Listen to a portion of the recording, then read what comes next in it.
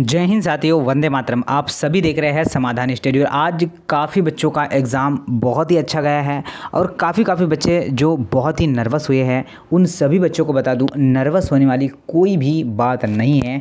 ठीक है, एक बार से जो है पेपर देने से पूरा जो है शेड्यूल चेंज नहीं हो जाता। ठीक है बच्चा तो देखिए, आज मैं बात करूँगा अठारह तारीख का फ़र्स्ट सेकेंड थर्ड शिफ्ट का।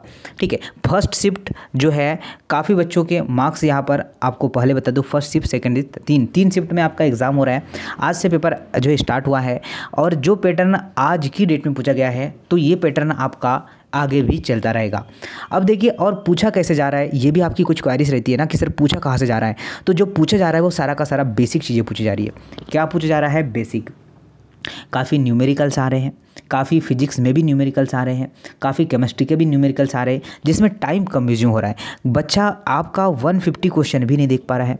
150 क्वेश्चन होता है 120 मिनट आपको मिल रहा है तो मान के चलिए एक क्वेश्चन को आपको फोर्टी कितना फोर्टी फाइव जो है सेकेंड लग रहे हैं। और इससे क्या है, बच्चा देख भी नहीं पा रहा है।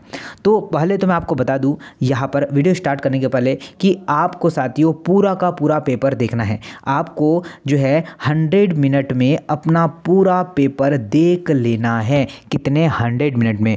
ट्वेंटी मिनट हमें बचा के रखना है। जो हमने कुछ गलत लगाया, हमें डाउट्स था, उनको। पर आपका माइनस मार्किंग नहीं है तो डाउट तो बिल्कुल नहीं रहेगा। आपको स्टार्टिंग से ही पूरा पेपर को फास्टली करते चलना है। मैंने पहले भी बताया आप लोगों को कि पेपर जब भी आप लोग सॉल्व करें, अपनी स्पीड बढ़ाए। टेस्ट भी मैंने दिया कि आपको जो है, आप लोग स्पीड से सॉल्व कर पाए। तीस सेकेंड मैं आपको देता था, पर क्वेश्चन एग्ज़ाम में आपको फोर्टी फाइव सेकेंड मिलेंगे। कितना? जब आप टेस्ट में पूरे क्वेश्चन सॉल्व कर पाते थे तो एग्ज़ाम में भी आप लोग पूरे पेपर सॉल्व कर लेंगे। पूरा पेपर भी सॉल्व कर लेंगे। और पूरा क्वेश्चन भी देख पाएँगे। तो आज का पेपर की बात करें इजी टू मॉडरेट लेवल था, ठीक है? जैसे कि मान के चलिए, आज 50 क्वेश्चन तो सिंपल थे बट 50 क्वेश्चन मॉडरेट लेवल के थे। समझ रहे? मतलब टफ नहीं था, ज़्यादा टफ नहीं था बट ये है कि आपका फिजिक्स और केमिस्ट्री बहुत ही ज़्यादा पूछा गया था। फिजिक्स और केमिस्ट्री इंग्लिश दस क्वेश्चन कई शिफ्ट में आपका पंद्रह क्वेश्चन कहीं में बीस, कहीं में फिजिक्स ज़्यादा, और बॉटनी जुलॉजी कम आ रहा है। समझ रहे आप लोग? तो देखिए कहाँ से क्वेश्चन आ रहे हैं? तो जो आपकी बेसिक जो जानकारी है बेसिक चीज़ें हैं, जो आपने आपके पास लूशेंट होगी, आपके पास जो आपका एन e होगी, जो बेसिक चीज़ें हैं, वो बेसिक ही आपको पूछा जा रहा है। आपने जितना पढ़ा सफिशियंट है, अभी आपको लोड लेंगे तो वो पेपर नहीं बन पाया। तो अपना को आपको लोड नहीं लेना है सिंपल जाना है। पेपर कठिन था या आसान तो पेपर मॉडरेट लेवल का था, ना ही कठिन था, ना ही आसान था मॉडरेट लेवल का था। पैटर्न चेंज हो चुका है। मैंने आपको बताया है कि पैटर्न कैसे चेंज हुआ है। 150 क्वेश्चन था। पहले आपको 30 30 नंबर का पूछा जाता था। इक्वल। पहले बॉटनी, जुलॉजी, फिजिक्स, केमिस्ट्री। अब आपका रेंडमली आ रहा है। पूरा क्वेश्चन मिक्स आ रहा है। क्या बोला बच्चा? पूरा क्वेश्चन मिक्स आ रहा है। कभी फिजिक्स आएगा, कभी केमिस्ट्री आएगा, कभी इंग्लिश आएगा और सब मिक्स पूछा जा रहा है। तो आपको ये समझ नहीं आएगा कि कौन सा जो क्वेश्चन है, कितने मार्क्स का आ रहा है।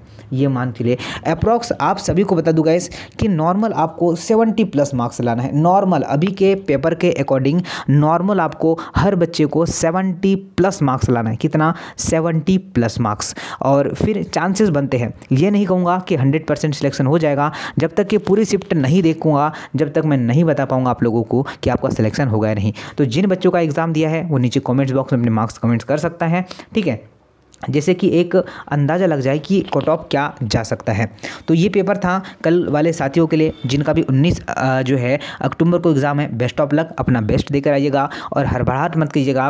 पेपर को जल्दी जल्दी पढ़िएगा, जल्दी जल्दी सॉल्व करिएगा। मैं आपको क्यों बोलता था कि बच्चा खुद से पढ़िए, खुद से पढ़िए? यही कारण है कि खुद से नहीं पढ़ते थे हम लोग और पेपर फिर हमसे पूरा देखा ही नहीं जाता। तो इसलिए आपसे पुनः कहूँगा कि क्वेश्चन को, जैसे ही क्वेश्चन आपका, जैसे ही पेपर हमारा स्टार्ट हो, हमें जल्दी जल्दी जल्दी जल्दी चीज़ों चीज़ों को पढ़ना है और टिक लगाकर आगे बढ़ना है। टिक लगाना है, आगे बढ़ना है। माइनस मार्किंग नहीं है, ये एक आप सभी लोगों को फ़ायदा है। चले तो आज के पेपर में काफ़ी बच्चों के सेवेंटी आए हैं, एक सेवेंटी वाला भी बच्चा है और आपका सिक्सटी वाला भी है, फिफ्टी वाला भी है, और आपका सिक्सटी वाला भी। काफ़ी सारे बच्चे के मैसेज आए हैं मेरे पास। ठीक है बच्चा? और सारा का सारा बेसिक चीज़ें ही आप लोगों से पूछा गया है। तो आई होप ये वीडियो आपको समझ में आएगा। शेयर करना ताकि कल वाला बच्चा इसे देख सके और जो है समझ सके कि हमें किस तरीके से और क्वेश्चन को कैसे अटेंड करना है। चलिए नमस्ते, वंदे मातरम।